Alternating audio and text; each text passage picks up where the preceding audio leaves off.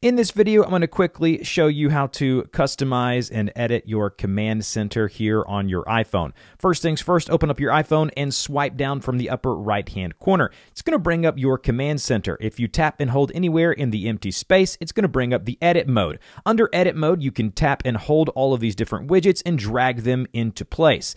As you can see, some of the widgets are larger than others. If you tap and hold those, you can see that I can tap and hold the bottom corner and expand them. Not all of these widgets will have have that ability.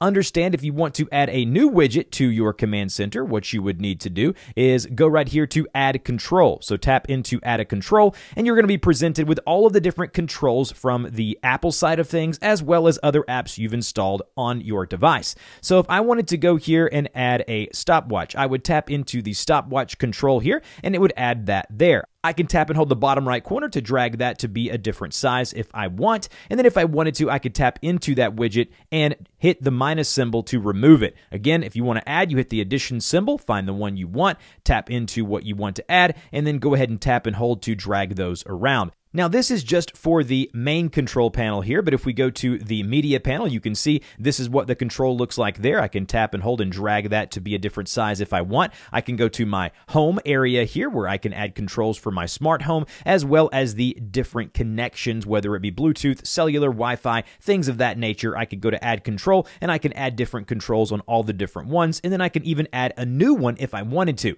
And as you can see, now that I'm done, I can swipe up or down to get to the different control centers here, and it's that easy.